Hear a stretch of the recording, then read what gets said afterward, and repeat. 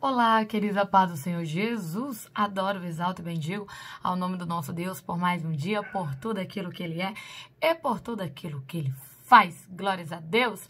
Estou feliz com o nosso Deus porque até aqui Ele tem nos ajudado, Ele tem sido o nosso refúgio, a nossa fortaleza e é nele que nós confiamos e cremos que novidade de vida ele tem para nós, uma nova vida. Ele tem para nossa história, para nossa casa, para nossa família, sabe? Aquilo que parece tudo perdido, aquilo que parece sem saída, aquilo que parece completamente desajustado, ele vem e transforma tudo em novo.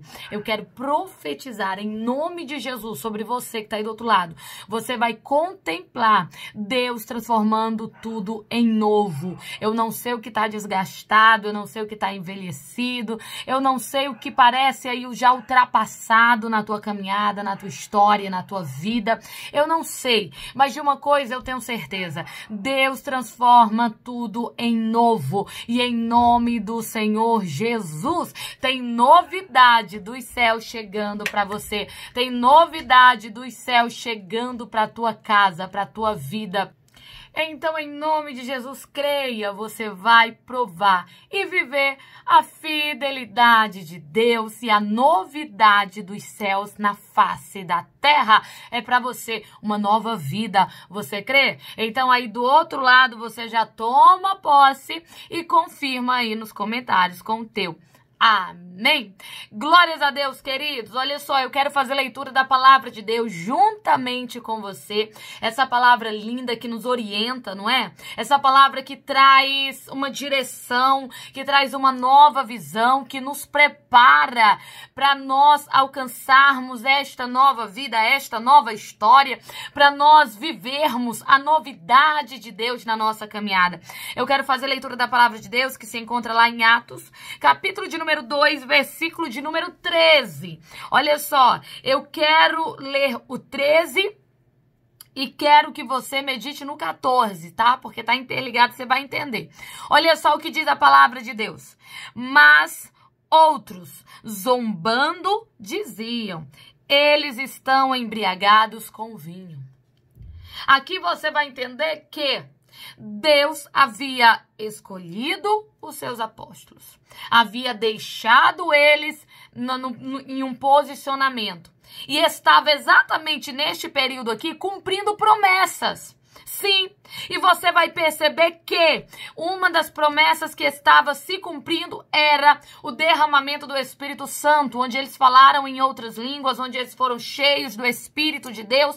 E observe só uma coisa, queridos, quando eles estão cheios do Espírito Santo, que a, a, ali em Pentecostes, você vai perceber que quem estava do lado de fora começou a zombar.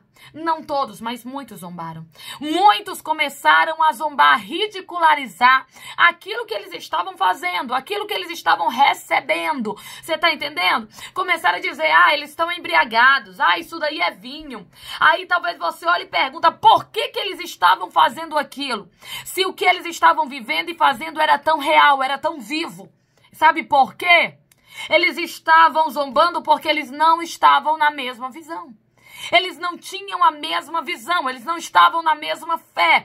Você está entendendo? Então, por vezes, na minha e na tua vida, a gente vai ter um projeto vivo, a gente vai ter um projeto real, a gente vai ter um sonho que é de Deus, a gente vai estar tá vivendo promessas dos céus e ainda assim estaremos sujeitos a encontrar pessoas que zombarão e, e, e farão chacota daquilo que é nosso zombarão e por vezes até mesmo nos ridicularizarão, você está entendendo?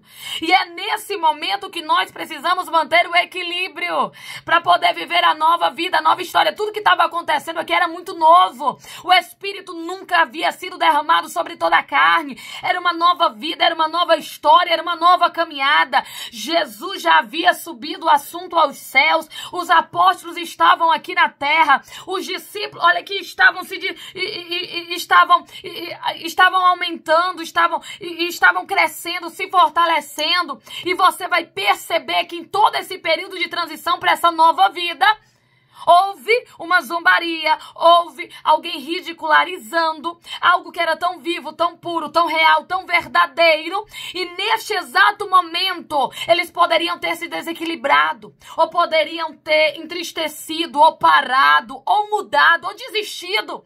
Mas não, Pedro vai se levantar no versículo 14. Então, pondo-se em pé com os onze, Pedro tomou a palavra e disse-lhes: Homens judeus e todos os que habitais em Jerusalém, que isto fique claro para vós. Escutai as minhas palavras. E ele vai começar a anunciar aquilo que ele estava fazendo, aquilo que ele estava vivendo, o que estava acontecendo. Desde o princípio até ali, ele vai apregoar todo o acontecimento. Você está entendendo? Mas deixa eu te falar aqui uma coisa. Era tudo novo. Era uma nova vida, era uma nova, sabe, era uma trajetória muito nova. As pessoas olhavam e quem não estava na mesma visão não entendia nada. Deixa eu te falar uma coisa.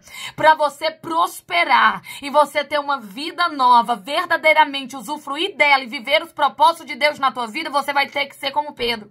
Não se importar ou não se abalar com as opiniões contrárias. Não supervaloriza a opinião dos outros. Tenha por base a palavra de Deus sobre a tua vida. Não supervalorize se Pedro aqui, ele levasse para o lado pessoal e ele se inquietasse, ele se irritasse, ou se ele se entristecesse. Não somente ele, mas todos aqueles que ali estavam, recebendo o Espírito Santo. Com certeza, queridos, as coisas não tinham acontecido da maneira que aconteceram, mas eles não estavam preocupados com a opinião alheia. Eles não estavam sendo. Olha que eles não iriam se deixar medir pela opinião dos outros para ter uma nova vida verdadeira verdadeiramente, para ter uma nova história, para viver uma novidade na presença do Senhor. Não se deixe medir pela opinião dos outros. Seja firme naquilo que você é, seja firme naquilo que você faz. Vão zombar, vão criticar, vão, vão, vão fazer muita coisa somente por um motivo: não estão na mesma visão que você. Não espere aceitação de quem não tem a mesma visão. Não espere apoio de quem não tem a mesma visão. Não espere, olha aqui, suporte de quem não tem a mesma visão. Não espere e não se abale quando algo contrário desse tipo de gente vier sobre você. Arabra, Deus trouxe você até aqui para dizer: você não é medido pela opinião alheia. Você não é o que eles dizem, você é o que Deus lhe diz. E se assegure nisso para viver uma novidade de vida, para viver uma nova vida, para viver uma nova história, senão você vai viver um ciclo vicioso sempre sempre medido pela opinião do outro, sempre subjugado pelo que os outros pensam, sempre limitado pelo, é, por aquilo que eles falam. E Deus está dizendo que Ele te chamou para romper e ir além, e para você ter uma vida próspera, para você prosseguir, para você ter uma vida nova. Você vai ter que aprender a lidar com essa questão com esta situação. Entender que quem não está na mesma visão que você pode até te ridicularizar, mas ele não pode te medir. Ele não pode fazer com que você, olha aqui, se limite à opinião deles. A opinião deles é problema deles. Pedro aqui cheio de autoridade, ele vai se levantar e ele vai falar com poder. E muitos que ali estavam vão se convencer do que realmente estava acontecendo, que aquilo ali não era vinho excesso, aquilo ali era poder de Deus. Papai está dizendo para você, quando você não se deixa medir pelo que eles pensam, ei, você se levanta com uma voz de autoridade.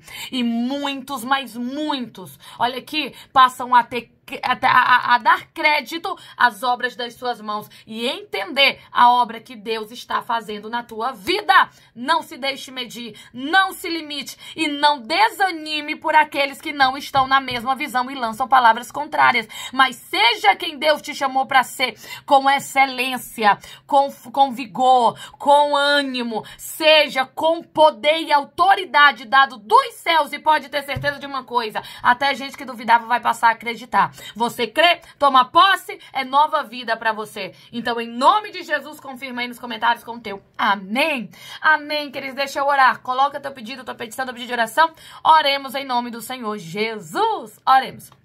Senhor, meu Deus e meu Pai, estamos aqui na tua presença para te adorar, glorificar, bendizer o teu santo nome. Deus, obrigada porque até aqui o Senhor tem sido conosco. Obrigada, meu Deus, porque o Senhor nos faz entender que a opinião dos outros não nos mede, a opinião dos outros não nos define, mas a tua palavra sim é nela que nós nos asseguramos. Deus, nós não entristecemos, nós não enfraquecemos por causa das palavras contrárias daqueles que não estão na mesma visão que nós. Meu Deus, nós acreditamos, Senhor, que para viver uma uma nova vida, nós vamos ter que andar segundo a tua palavra e não limitados ou medidos pela opinião dos outros. Neste exato momento, nós tomamos posse da autoridade, do poder que estava sobre, que o mesmo que estava sobre a vida de Pedro, meu Deus, vem sobre a nossa vida também.